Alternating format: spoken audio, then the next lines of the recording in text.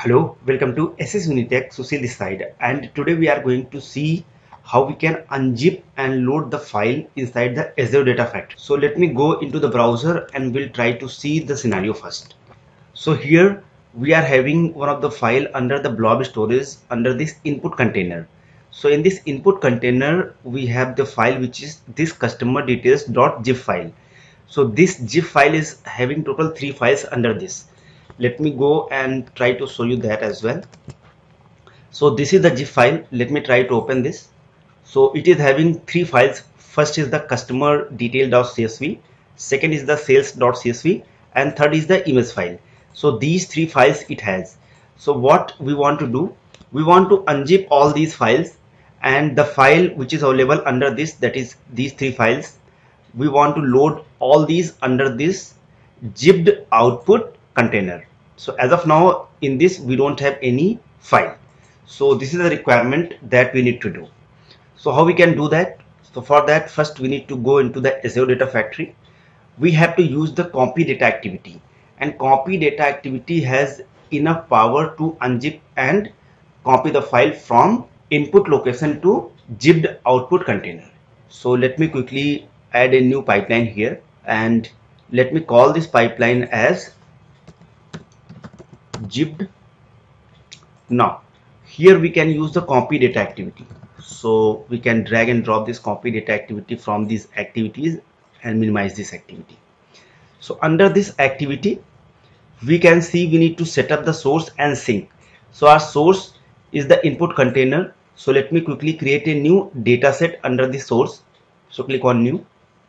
And our file is available under the blob storage. So we can search for azure blob storage let me click on continue.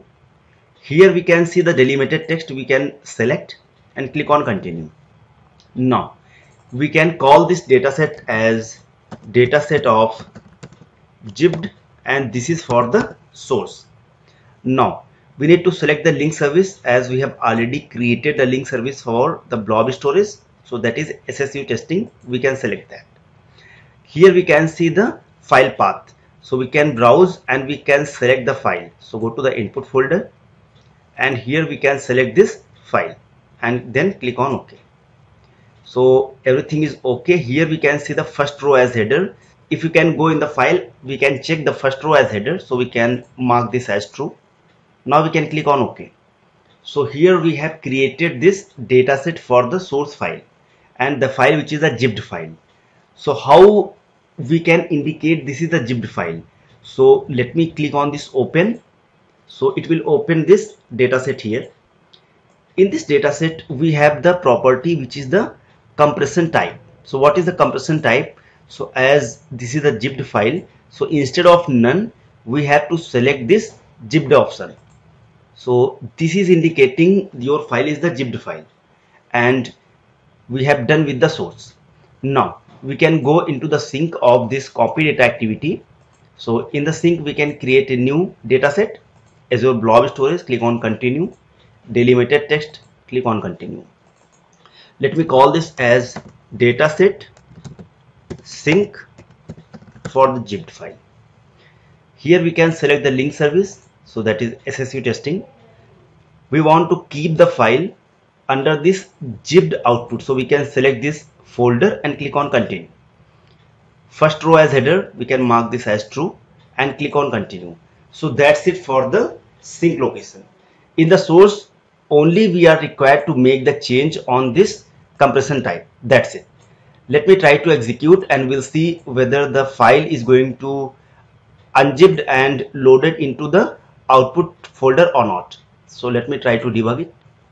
So once it will be executed, your files should be copied into the output folder. So as we can see, this is in progress. So it got executed successfully. Let me quickly go into the folder and try to refresh.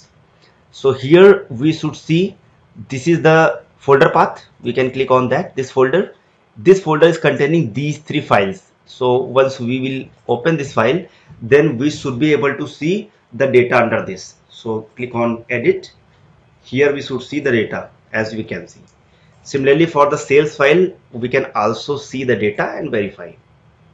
So under the preview we can see all the data. Here we have the image file so we should be able to see the image. So as in the edit we can see this image. So we have successfully loaded the file here. But remember here we hmm. are having this folder and under this folder we have the files. But we don't want to keep this folder so let me try to delete it from here first instead of creating a folder and keeping the file under that we want to keep the file directly on the output folder. So under this blob storage of the zipped output we want to keep all these file here. So how we can do that? So let me go here. So here under the sink we can see the copy behavior.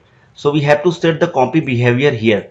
So as of now we can see this none. So instead of none we can set the flatten hierarchy so once we are going to set this option your file will be going to copy directly in the output folder. Let me try to execute it so I can show you that.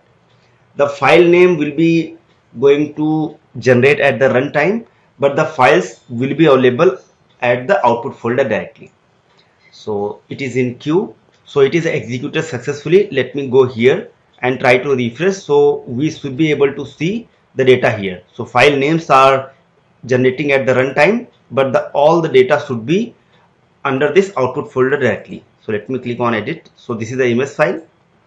After that we can see this customer file and this is for the sales file. So these three files are loaded directly into the output folder. One thing that I also want to tell you go to the here in the Azure data factory. Here go to on the data set of the source so once we are going to use the compression type option then we are also having the compression level.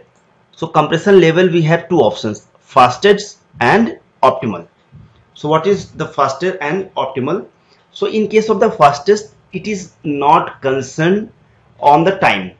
Your file will be going to zipped or unzipped very quickly without taking the time. Next for the optimal your file will be unzipped it will be taking care of the size of the file.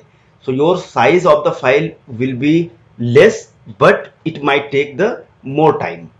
So if your requirement is on the size then you should go on the optimal option. If you want to unzip the file quickly then you can go on the fastest option. So this option we can choose as per your requirement. So this is all about the unzip and load the file into the another folder from one folder so thank you so much for watching this video. See you in the next video